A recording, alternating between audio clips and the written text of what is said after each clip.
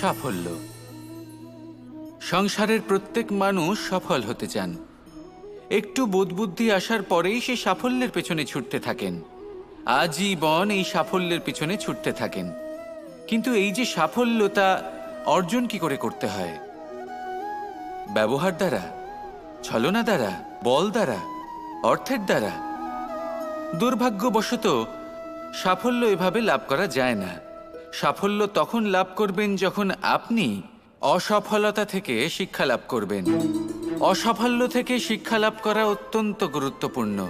করা ভুলের থেকে শেখা অত্যন্ত গুরুত্বপূর্ণ। যদি আপনি অসাফল্যকে ভয় পান, তার থেকে দূরে পালান, তাহলে জীবনে কখনোই এগোতে পারবেন না। অসফলতা আসেই আপনাকে এটা বোঝানোর জন্য যে সাফল্য কীভাবে অর্জন করা যেতে পারে। তাহলে অসফলতাকে স্বাগত জানান। তার থেকে শিখুন, নিশ্চিত রূপে সাফল্য আপনার কাছে আসবেই আসবে। আর এই মন, তা সুপ্রসন্ন হয়ে বলবে, রাধা রাধা।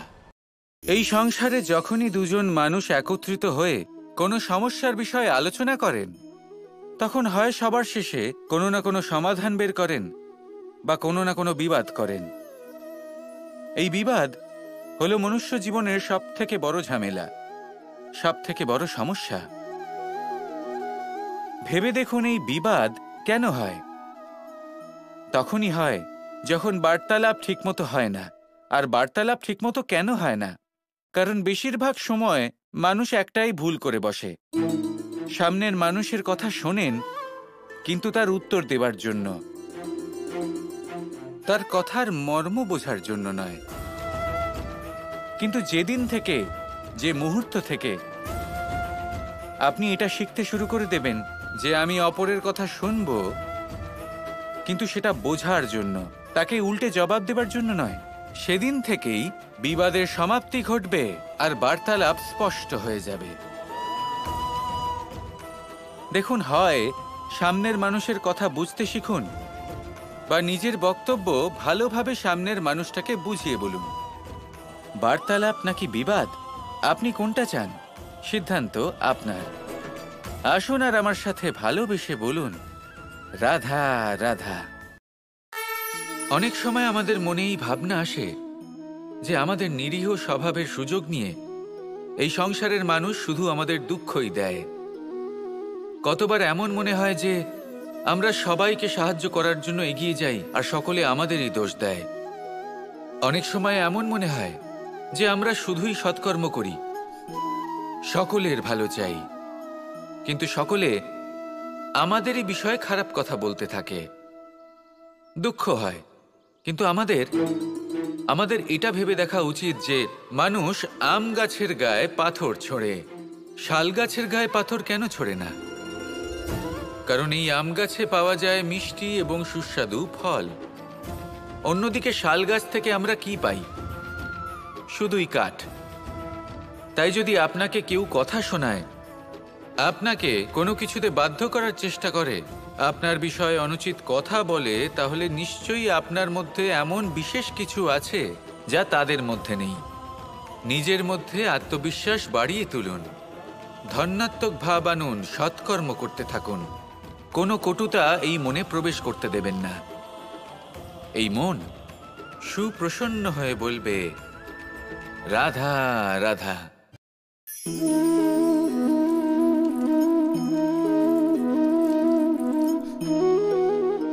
এ হলো এক আম গাছ। আর খুব যত্ন সহকারে আমি এটা বড় করেছি। প্রথমে বীজ বপন করেছি, তারপর সিঞ্চন করেছি, তারপর এর থেকে অঙ্কুর বেরিয়েছে। তারপর দিন প্রতিদিন আমি এতে জল দিয়েছি। আস্তে আস্তে ওর পাতা বেরিয়েছে।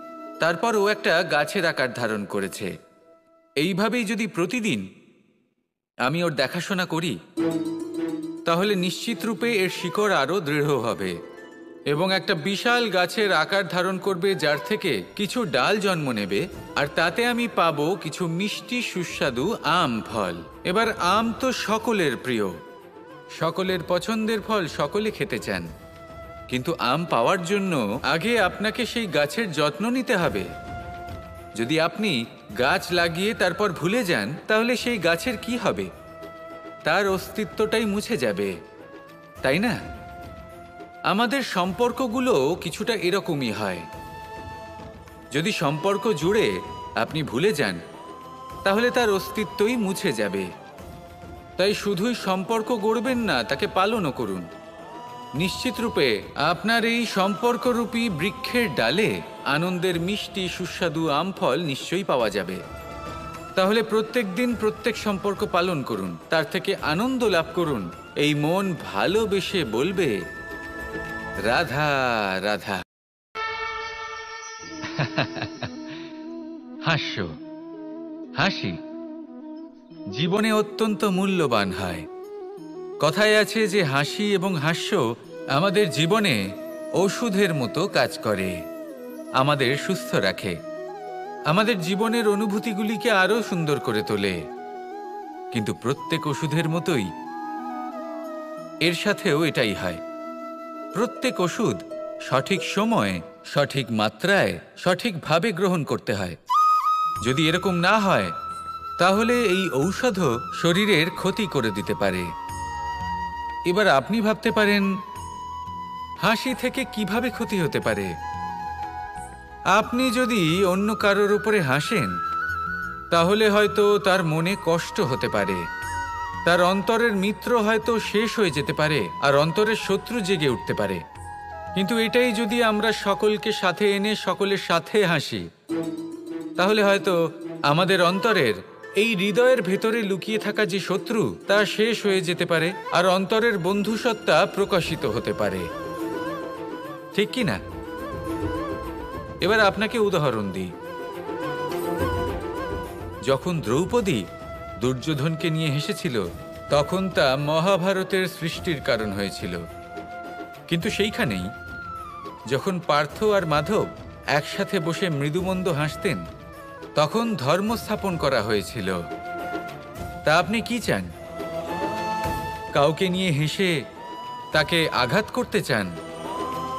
নাকি সকলকে একসাথে এনে তাদের হাসিয়ে তুলে ধন্যাত্মক প্রভাব ফেলতে চান? সিদ্ধান্ত আপনার।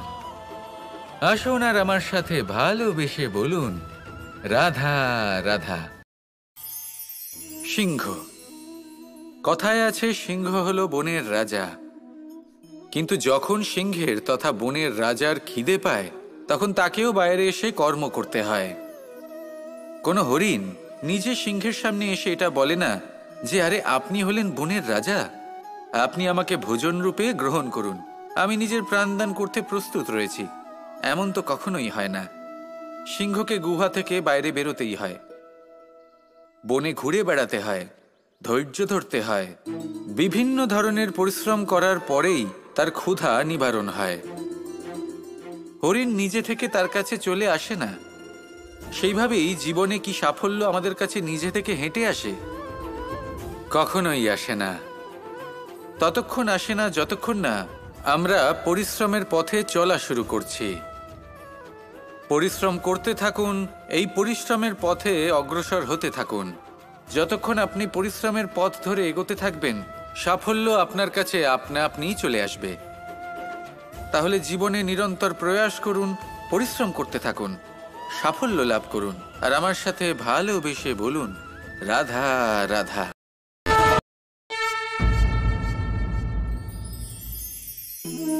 জীবনে ক্ষমা চাওয়া তাও কিছুটা সহজ। ক্ষমা করতে পারা অত্যন্ত কঠিন। ক্ষমা। দুই অক্ষরের এই শব্দ হতে পারে, কিন্তু অত্যন্ত বড় এই শব্দ। অত্যন্ত গুরুত্বপূর্ণ এই শব্দ। কখনো কখনো অন্য কাউকে ক্ষমা করে দেওয়া তাও কিছুটা সহজ কাজ। কিন্তু নিজেকে ক্ষমা করতে পারা অত্যন্ত কঠিন হয়ে দাঁড়ায়। অতীতে যদি আমাদের এমন কোনো ভুল হয়, যে কারণে আমরা নিজেকে ক্ষমা করতে পারি না। অনেক সময় এমন কিছু ভুল করে বসি, যে বিষয় শুধু আমরাই জানি। কিন্তু আমরা নিজেকে ক্ষমাই করতে পারি না। আর আমাদের বিকাশ সেখানে স্তব্ধ হয়ে যায়। কারণ যদি আপনি ক্ষমা করতে না শেখেন, নিজেকে ক্ষমা যদি না করতে পারেন, তাহলে তা আপনার জীবনের সব থেকে বড় বাধা হয়ে দাঁড়াবে। সেই জন্য জীবনে অবশ্যই শিখুন যে কীভাবে নিজেকে ক্ষমা করতে হয়। আর শিখুন যে আগের করা ভুল আবার কি করে না করা যেতে পারে। এই মন হালকা হবে। আর প্রসন্ন হয়ে বলবে, রাধা রাধা, কোনো গাছের গায়ে লেগে থাকা ফলকে দেখুন। সে কতটা সুখী অনুভব করে, কতটা সুরক্ষিত অনুভব করে। তার যে খাবারের প্রয়োজন পড়ে, তা সে গাছের শিকড় থেকে পেয়ে যায়। গাছের শাখা, ডাল, তাকে সাহায্য করে থাকে। পাতা, তাকে আশ্রয় দেয়। ওকে ছায়া প্রদান করে। কিন্তু সেই ফল যদি ওখানেই থাকে তাহলে কি হবে? উচিত হবে? না, ওই ফলকে ছিঁড়ে পড়ে যেতে হবে, মাটিতে পড়তে হবে, সেটা ফেটে যেতে হবে। নিজের বীজকে মাটির নিচের অন্ধকারে পৌঁছে দিতে হবে। তারপর সে রূপ পাল্টাবে, আর এক অঙ্কুরে রূপান্তরিত হবে। অঙ্কুর, যা বৃক্ষে রূপান্তরিত হবে। বৃক্ষ, যা অনেক ফলকে জন্ম দেবে। সেইভাবেই আপনি জীবনে যদি মহান কিছু করতে চান, শ্রেষ্ঠ কোনো কাজ করতে চান, তাহলে আপনাকে সুরক্ষা ক্ষেত্র থেকে বেরিয়ে আসতেই হবে, আর কর্ম করতে হবে। দেখুন, সোনাকেও কুন্দন হবার জন্য তপ্ত হতে হয়। আপনাকেও মহান হবার জন্য কর্ম তো করতেই হবে। তাই কর্ম করুন, মহান হয়ে উঠুন, আর আমার সাথে ভালোবেসে বলুন, রাধা রাধা। তালা অনেক পুরনো একটা আবিষ্কার। যবে থেকে এই সংসারে বহুমূল্য বস্তু নির্মিত হয়েছে, তবে থেকেই এই তালা নির্মাণ হয়েছে। তবে থেকে এর ব্যবহার করা হয়েছে, যাতে উচিত সময় এলে পরে আমরা আমাদের বহুমূল্য জিনিসগুলো সুরক্ষিত রাখতে পারি এবং সময় এলে পরে বের করে সেগুলি ব্যবহার করতে পারি। এবার একটা গুরুত্বপূর্ণ তথ্য আছে যেটা জানা অত্যন্ত গুরুত্বপূর্ণ। এবং সেটা হলো যে একটা তালা নির্মাণের পূর্বে তা খোলার যন্ত্র অর্থাৎ তার চাবিটি নির্মাণ করা হয় এবং এটাই জীবনের খুব বড় একটা শিক্ষা প্রদান করে যায়। আমাদের জীবনে যখনই কোনো সমস্যা আসে, তখন ভয়ভীত হওয়ার কোনো দরকার নেই। কারণ এই প্রকৃতি, এই ঈশ্বর, এই সমস্যার সমাধান তথা এর চাবি আগে থেকেই নির্মাণ করে রেখে দিয়েছেন। শুধু দরকার হলো সেই সমস্যার ঊর্ধ্বে উঠে সেই সমাধান খুঁজে বের করা। মানুষ অনেক সময় সমস্যা দেখে ভীত হয়ে পড়েন, চিন্তিত হয়ে পড়েন, নিজের বিবেক হারিয়ে ফেলেন। আপনার শুধু এই মনকে শান্ত করা প্রয়োজন। এই শান্ত মনের সাথে এই সমস্যার নিবারণ খুঁজে নিতে হবে। তাই সমস্যা যতই তীব্র হোক না কেন, ভয় পাওয়ার কোনো প্রয়োজন নেই। পরম শান্ত মনে সমাধান খুঁজে বের করুন। আসুন আমার সাথে ভালোবেসে বলুন রাধা রাধা।